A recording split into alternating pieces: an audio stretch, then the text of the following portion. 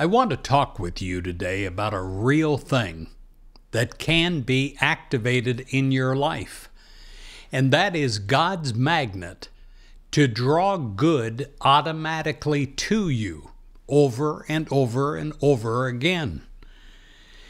And what are those magnets? How can you activate magnets versus activating blocks that block your good? Well, your positive thoughts are magnets. I'm going to say that again. Your positive thoughts are magnets. Negative thoughts, well, they're blocks. It absolutely repels good from you. But your positive thoughts are magnets that draw good to you continually.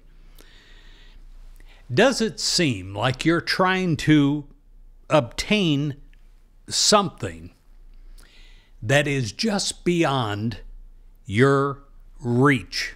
No matter how hard you try, it just seems to be slightly out of where you can connect to.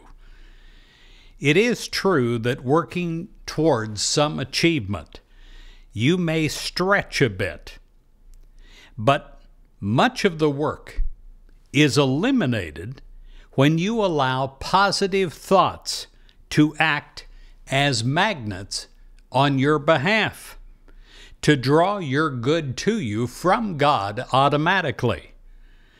Positive thoughts are founded on divine principle. They're magnets of spiritual energy that absolutely seek the presence of God within all people and all things and within all situations. As you think thoughts such as God created me for a life of health, God created me for a life of joy, God created me for a life of prosperity. You draw people, experiences, events to you that make good a reality in your life. As you think about the highest and best thoughts, you draw the best and the highest to you, which is the goodness of God.